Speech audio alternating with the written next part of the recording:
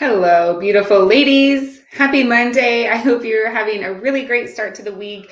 I wanted to come on today and continue to do some just very basic and straightforward nutritional teaching, nutritional coaching to help you get better results internally and externally, right? Feel amazing in your skin, look really good, get the body fat body fat off, grow muscle mass, but also really teach you how to have more energy, help regulate your hormones and just feel a lot better every single woman, maybe maybe 98% of women, but most all women who come into our program have an issue with balancing and spacing just because they don't know. So I want to help you with that right now. Okay, so this may look like not eating very much in the day and then just eating a ton at night, right? You may think, well, what's the problem with that? I'm still hitting my macros, right? Here's the problem. When you're eating just huge quantities at night or just one meal, right? It doesn't, it's not necessarily just at night, but when you're eating one huge meal or two huge meals, let's say your body just doesn't need that many macros or your body just doesn't need all that energy. What is it going to do with it? It stores it as fat. It stores it as fat because it's like, great, this is great nutrition. I'm going to store this away for later because I have nothing to do with it right now.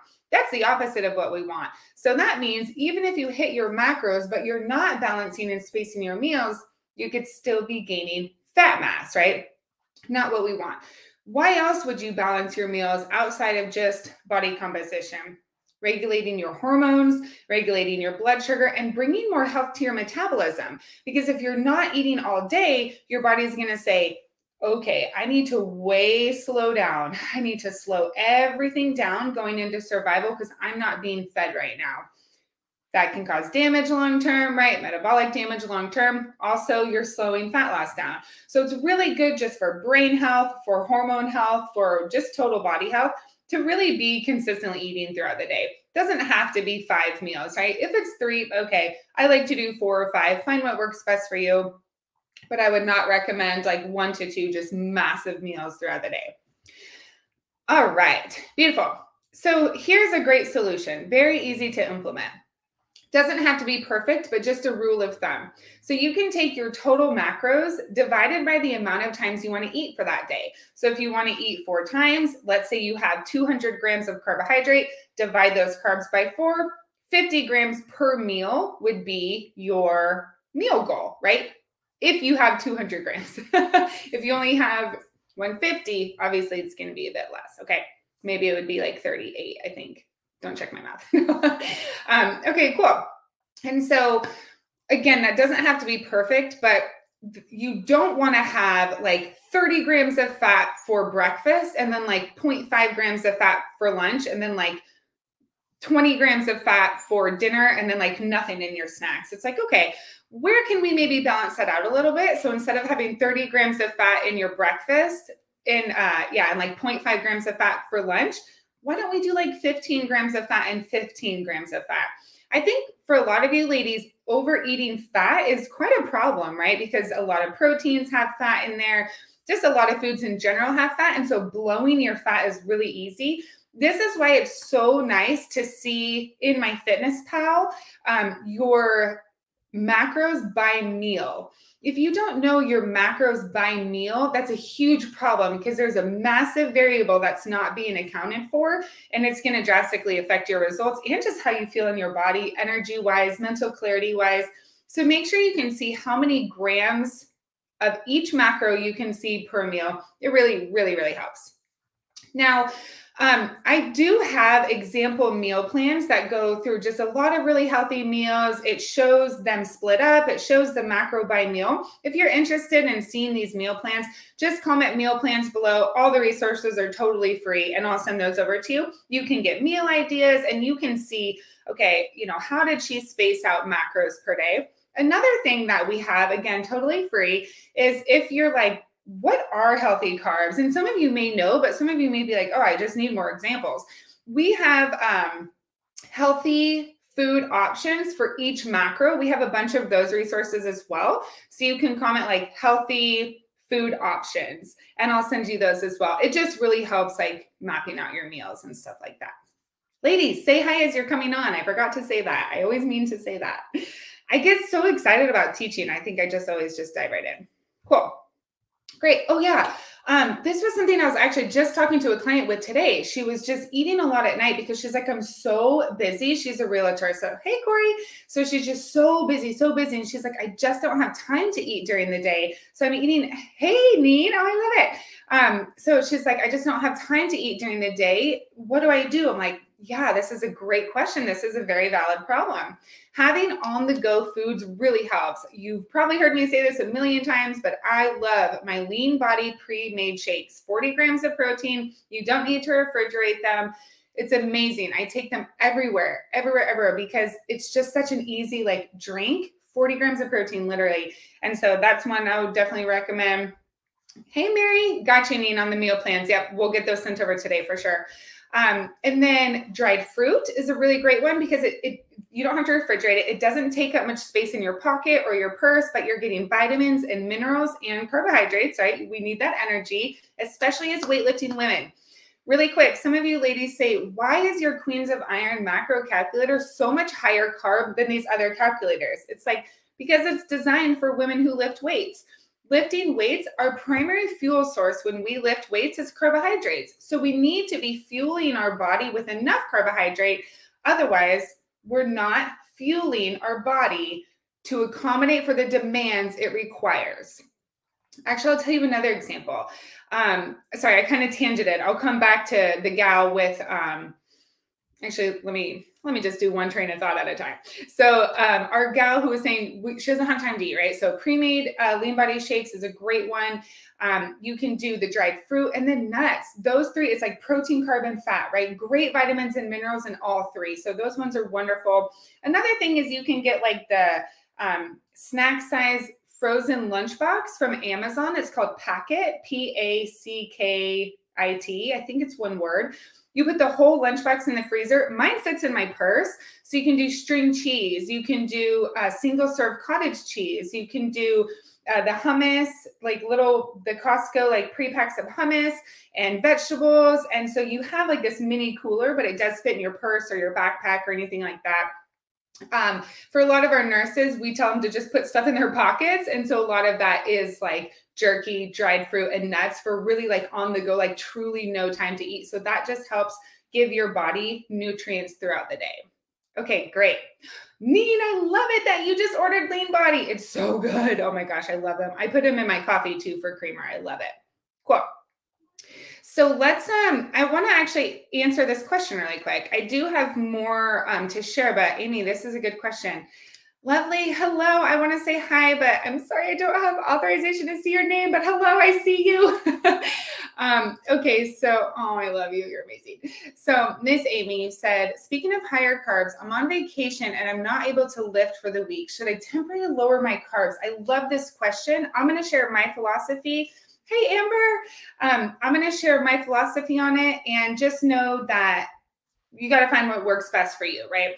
But this is a good question. I had an, actually a client ask this too. She's, um, I think it's the exact same situation. She's going on vacation and she's not lifting, and she's like, "Should I lower my calories but not carb?" And I actually said no. She's going to be really active. So I'm going to kind of talk through both, Amy. But for you, personally i like to say no. And the reason is because i don't like to like baby the body. I like to get it really resilient. I like to get it really really resilient. And so sometimes we have to challenge it. So if we're constantly making these minor tweaks for very short term lifestyle changes I just feel like you can get more out of it by teaching your body how to process and maintain your set point through the differences of environment, circumstance, nutrition, that type of thing. Does that make sense? I hope that makes sense. So I personally would say no. Um, stay really active. Choose high quality food choices. If it was like three weeks, five weeks, six weeks, yeah, I would probably lower. Maybe not carb, maybe carb, maybe calorie.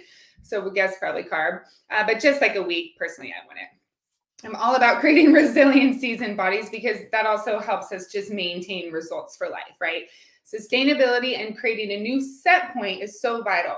What's a set point? So some ladies go through the gain loss, gain loss, gain loss, right? That's because their set point is usually that higher weight. So their body it's like they go on a diet, they lose the weight, but then they gain it back. Why do you keep gaining it back? It's because your set point is up there.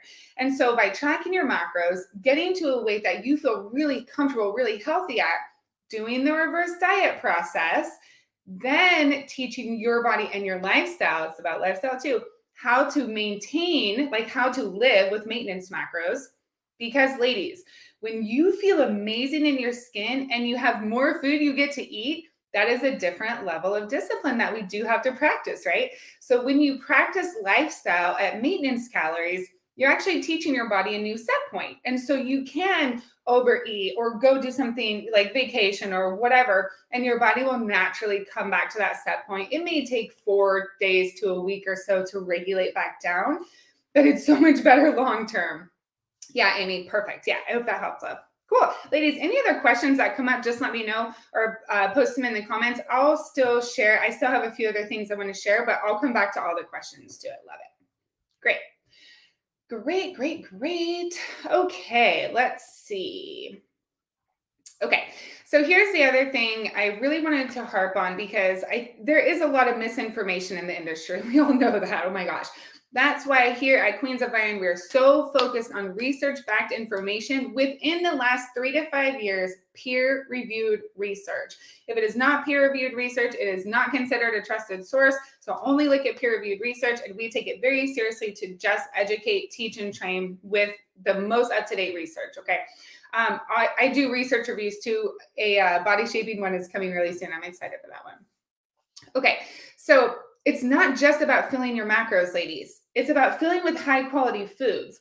There is balance. We should have play foods. We should be able to go enjoy life, go out for a glass of wine or a drink, or go do this or go do that and not feel bad, not feel totally off track, not blow it.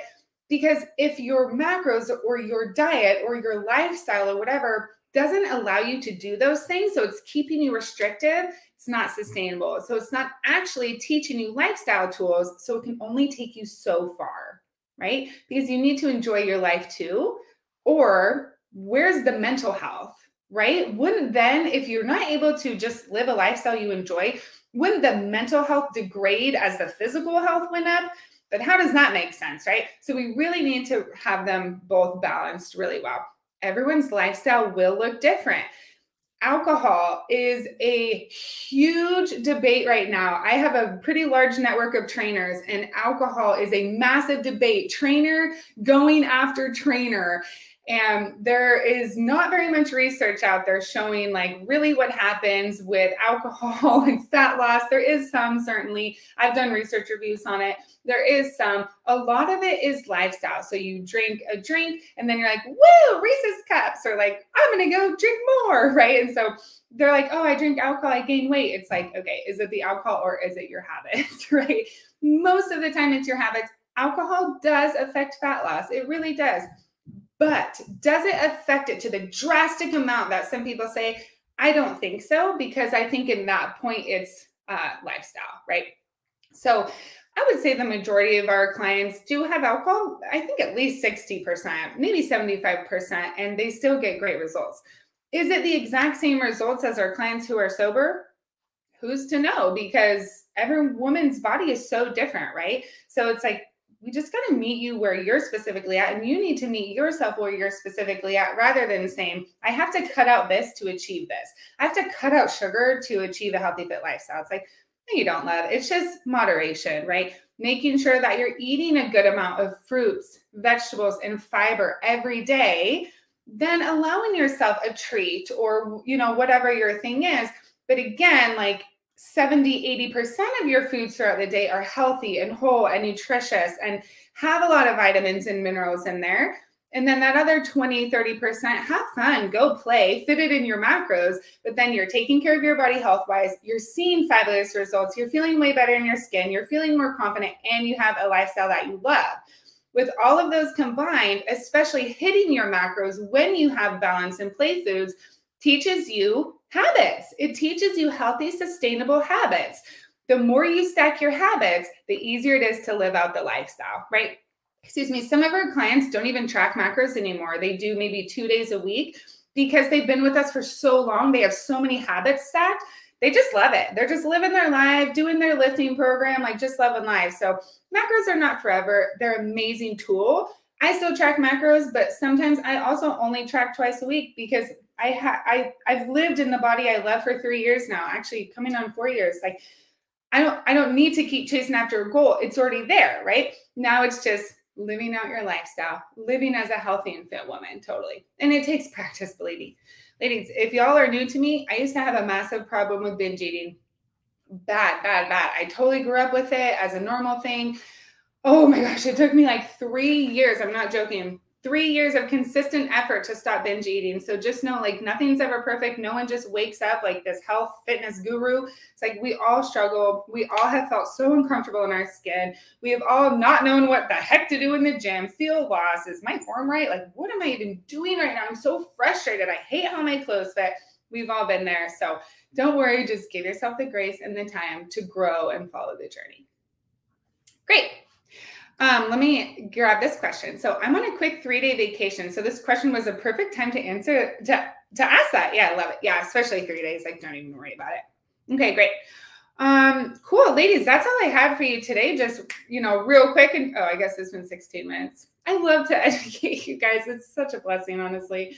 Um, great. So don't forget if you want um, like meal plan examples of just healthy foods, or if you want a healthy food in each category option, uh, just comment like meal plans or healthy food options below. Totally free. We'll send you over those resources just to help you know what to eat, what's healthy, how are we balancing and spacing our foods out eating every two and a half to three hours is a great rule of thumb, you know, just really giving your body those solid nutrients. For those of you who do want to work with a professional, where it's like, I don't really want to think about any of this. I just want to have the accountability. I want to know exactly what to do, and I'm just going to do it and see great results and totally establish this lifestyle. Comment coaching below. That is what we do. That is our specialty. Comment coaching. We'll have a very laid back chat just in the Facebook DM. Just share about your goals. We'll share how we can support you. We'll talk through it all, and then we can just decide what's best for you. Okay. Make sure to get you get you taken care of. Okay, ladies. Wonderful. Have a great day. Let me know if you have any questions. Uh, this Wednesday, we're going to be doing the live Q&A. I'll post that event so you can ask any questions, and then I'll come on and we'll just start solving problems. Okay, great. You ladies are wonderful. Thank you for being here, and have a great day.